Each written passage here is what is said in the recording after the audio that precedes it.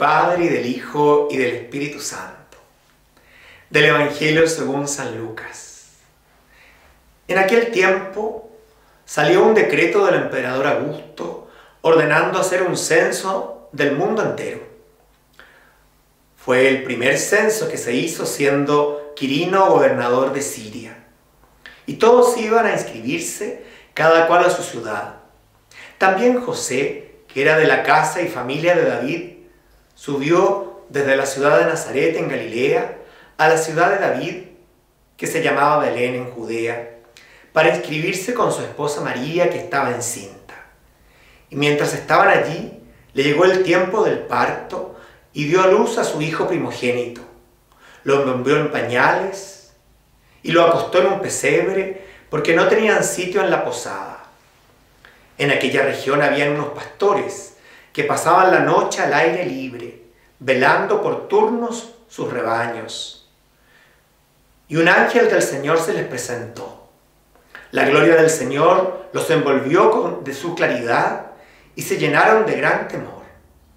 El ángel les dijo, no teman, les traigo una buena noticia, una gran alegría para todo el pueblo. Hoy en la ciudad de David les ha nacido un Salvador, el Mesías, el Señor. Y aquí tienen la señal, encontrarán un niño envuelto en pañales y acostado en un pesebre. De pronto, en torno al ángel, apareció una legión de del ejército celestial que alababa a Dios diciendo, Gloria a Dios en el cielo y en la tierra paz a los hombres que ama el Señor. Como los pastores, se nos ofrece en este tiempo de Adviento y en este mes bendito la oportunidad de acercarnos a Jesús por medio de María, de reconocer esas humildes presencias. La gran señal que hallaron los pastores fue un niño acostado en un pesebre y envuelto en pañales.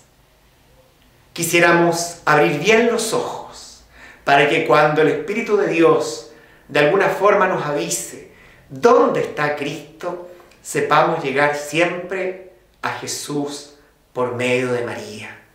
Pidamos esa gracia para que nosotros podamos transmitirle a otros la buena noticia. La buena noticia que es para todo el mundo. Hemos hallado al Salvador, al fruto bendito de María que también nosotros podamos, a la manera de la Virgen, estar siempre dispuestos a las visitas del Salvador.